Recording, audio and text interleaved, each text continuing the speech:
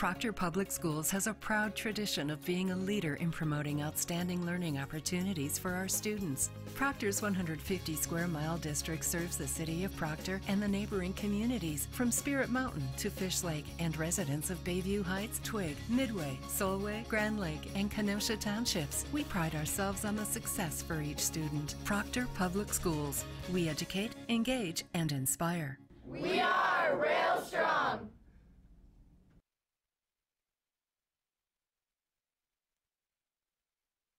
please, please, please, dear God. And they did. And the nice thing about it was last Saturday, it was the International Holocaust Remembrance Day. And they wowed everybody. Tonight you are going to have a couple of actors, at least one, who is going to be replacing an actress who could not be here today. Um, so our, one of our understudies, who is also a nun, is going to take the place of Liesel, Sister um, Mother Superior's sister. It's a, forgive me, I'm a little nervous. That's why I direct. I don't do this stuff anymore. Um, one act competition is 35 minutes to, to do the show, 10 minutes to set up from a bare stage, and 35 minutes to do the show. If we go over that at any time, they're allowed to complete but they will not be considered. So last week we went up against uh, five, no, seven teams, because we had an extra team in ours, and they beat out everybody, and they were tough, tough teams that they went up against. And the judge who critiqued us basically said, I don't know what to say. I'm going to be picky. They're minor things, but you guys were great. So sit back, Enjoy No Fading Star.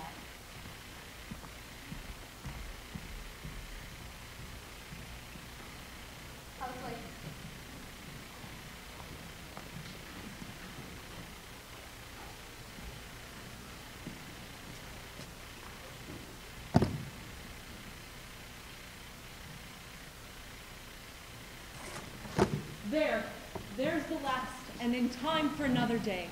Good morning, Mother. Good morning, Sister Clara. Did you see that glorious sun coming up and that morning star fading? It makes me want to nudge that old bell a little and let it ring. It's hundreds of years old. It rings a lot of memories. Well, sister, it may be the only cause for smiling we have this day. Mother, Klaus Hoffler is here with a truckload of supplies. And frowning? Thank God we can stop counting out peas and beans. Why the frown? He's brought children again. Two children. Children? And only two? Well, now that the school is closed, we'll have to say they're the nieces of the Herr Dr. Schneider. Who claim them until we can get them out? Mother, these children, you call them Herr Doctor's nieces? I don't think anyone will believe that. You see... Of course they will. We've done that many times before. Well, you'll see. Mother, I don't know how we can continue. Last week, three times. Yes, I know. The search is unannounced. Since the order came to close, we're being watched, I'm sure. Klaus is growling again. He hears what they say in town, and he's been warned. By whom? Well, by Herr Dr. Schneider, for one. Uh, Gert Freeburg says they announced the last search of the ghetto. I've taken some precautions. I've burned all the records. The birth certificates? I've burned them all. Mother Franziska and Sister Clara, I won't wait any longer while you two stand here gossiping. I've been out to the farm before dawn, and I won't wait. Of course not, Klaus, my dear scowling friend. Why don't you come in here for a bit and growl at me? It makes my day complete. Well, now it's just that I... It's just that you're tired. Sister Clara, there must be a cup of hot coffee in the kitchen for Klaus. With a little pinch of sugar, if Sister Monica can spare some. I tell you, Mother Franziska, I'm not sure if I can keep up the pace much longer. It's for the work that must be done. I suppose I complain a lot, but what can I do? What can any of us do? Last night, in the town, there was another search, and there were two children in the truck, and I'm afraid... Yes, I know. Sister Clara told me. Yesterday, I had almost decided to stop for a while, but now that the children are here, how can we refuse them? We will take them in as the nieces of the Herr Dr. Schneider. He's helped us in the past. He will do that for us again. Mother Franziska, you mean he'll tell a little lie for us? Now, Klaus, it's not really a lie. We've been through this before. For the Herr Doctor to claim one or the other of the children here is his nieces, it's not really a lie. He may very well be a distant uncle of the children. Yes, I know the argument. Somewhere in the distant past, we are all related, and the Gestapo is not the time to search the family trees of the respectable citizens like Herr Doctor and the nuns here at Maria Morgenstern. And Klaus Hoffler, you've been an uncle more times than you know. It's what I call an honest deception. Yes, and the Aryan passports and the birth certificates. All honest deceptions. Yes, and the nieces of the Herr Doctor, two girls in the novitiate of Maria Morgenstern. They will leave them alone. But there's just one thing. Yes. One of these nieces is a nephew. A boy? Well, I was not expecting that. But we won't turn him away. He may not have a chance. He may run away. But this time, these must be the last. I told myself after last week's searches no more. But these two, I could not refuse. Here. Here is a good hot cup of strong coffee for both of you. With a little pinch of sugar. Thank you, sister. And tell Sister Monica that Klaus will be stopping in the kitchen to unload the supplies. I'm obliged to you, Sister Clara. I'll be sure to stop in the kitchen later. You can warn Sister Monica. Oh, don't worry. She'll be ready for you. Now, the children. Gerda Zacks. Do you remember her? Gerda, yes, but I thought she had left Germany. Well, they've been called. Last week, the Gestapo broke down the door and they arrested Martin. Things have been quiet in the ghetto for a couple of weeks now. And how they they say he's on the train, and then yesterday, Gerda. Gerda and Martin? You can see why my feet are dragging. One by one are friends, but nothing can be done. We do what we can. But now we must save the children. The children. Yes. Um. This letter. It's it's from Gerda.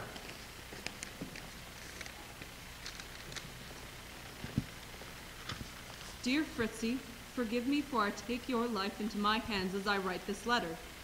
We are the last to leave Ludwigstrasse, the last Jews. It seems we are all being swept into flames that will destroy us. She says Liesel has changed. We dare not approach her. And except for Klaus and Marta and the Freeburgs, we are all alone. Yes. We shared what we had, and I promised to bring the children here. I'm sending my children to you, David and Miriam. I cannot bear to think that they will perish in the flames. Your friend, a note. David will be 13 next week. He would have been bar mitzvah this Sabbath. My dear Gertie. And my poor sister Liesel. Poor? A fool, that's what! Perhaps I shouldn't say so. But Mother Franziska, I say Liesel She's is a a... fool, Klaus, and it's pitiful that she destroys everything she knows to be right in her foolishness. But she's my sister, and she's a grown woman. I despise what she stands for, and yet I still grieve for what she is. No one trusts her. The whole town knows she's a sympathizer. And though they respect you, they will not give her a crumb of sympathy or friendliness. Well, married to Captain Muller, she makes her choice to stand against us. She knows how I feel and avoids me. And it's just as well I don't want her here, asking questions, seeing what she should not see, or hearing. She would not understand that we could not face the living God or ourselves if we did not, as dear Gerda says, take our lives into our own hands. What Gerda said was, she. She takes your life into her hands. Klaus, will you make another trip tonight? Notify the Freeburg. Do you hear me? I say she is right. She takes your life and the lives of all of us. She takes it all into her hands with a letter. Evidence. If Heimlich and the Gestapo come by again, they will not leave alone. Yes, I'm afraid that's true, so I've burned all the records. She takes No! your... I take my life into my hands. My life, the sisters, the monastery, all of it into my hands. But it's too late. But the children will not be destroyed. Klaus, will you work? Will you stay with me in this work? Yes. What else can I do? Where are the children? Miriam, it's all right. Klaus will come back, and you have to stay here. Why? I want to go with you. Miriam, please. I'm not going to stay here and hide like a like a little boy Hide in a convent. But where are you going to go? I'm going to try and get out and back to bottom with the others. Miriam, please. I want to go with you. You don't understand. I'm the last. Here. You take this sweater and scarf that Mama packed. You take these things. This will keep you warm. But what about you? Don't be afraid. They'll take care of you. You can stay here and hide, a girl. But I must go. What's that? Here, behind the tree. There you are. Why did you move from the truck? I'm not afraid. Well, I am. And so am I. I'm going to leave here. Now. It's not safe. You will have to wait. I don't believe you. Who are you? I'm Mother Franziska, your mother's good friend. How do I know? You know because she tells you. That's how you know. Yes, you can believe me. I'm your mother's good friend. Friend.